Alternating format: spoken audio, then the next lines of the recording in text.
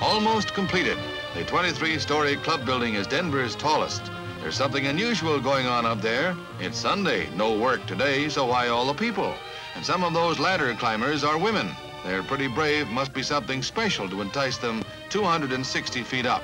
Special? You bet. A wedding. Love is right on the beam. Steel beam in the sky. Max Wilk and Mary Varnell exchange vows in a novel setting. A 55-year-old veteran ironworker, Max met his 52-year-old bride last summer. Skyscraper wedding.